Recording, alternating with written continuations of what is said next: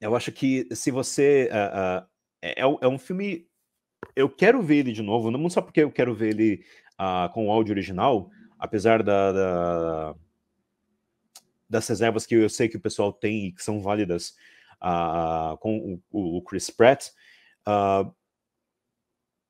eu acho que todo mundo ali meio que colabora para trazer uma experiência muito... Mas é uma coisa que eu fico pensando, né? Reservas ao Chris Pratt. É um ator de comédia, gente. É um é. filme de entretenimento. Os dois filmes que nós estamos falando aqui não é não é o a adaptação do Metal Gear, que aliás eu tô achando que vai ser uma droga.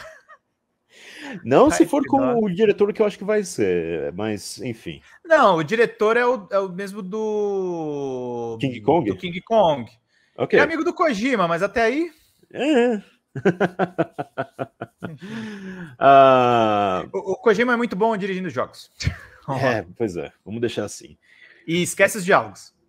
É, não. Então, os, os diálogos do Super Mario.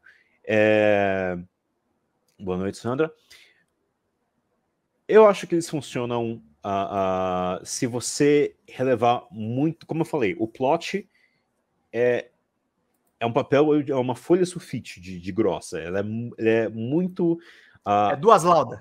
É, duas laudas. Tá, tá lá só para realmente uh, tirar os personagens de ponto A e levar eles até o ponto B. E por que, que eu acho que isso não é um problema? Uh, se você pegar o filme e falar, ah, mas isso não funciona desse jeito, ou essa ação não fez sentido, ou Uh, o filme está forçando os personagens a participar desses eventos, participar desses, uh, dessas cenas, desses, desse espetáculo. Uh, eu acho que você está meio que chegando de um lado meio equivocado, porque o filme não é sobre você justificar a, a, a, por que aquelas coisas fazem parte dali, ou qual é a explicação para essas coisas chegarem lá. Uh, tal qual os jogos da Nintendo, ele é simplesmente um vessel, como é que eu falo isso em português? Uh, é um, um, um, espaço que, que você habita para uh, sentir, para se divertir com aqueles personagens. Então,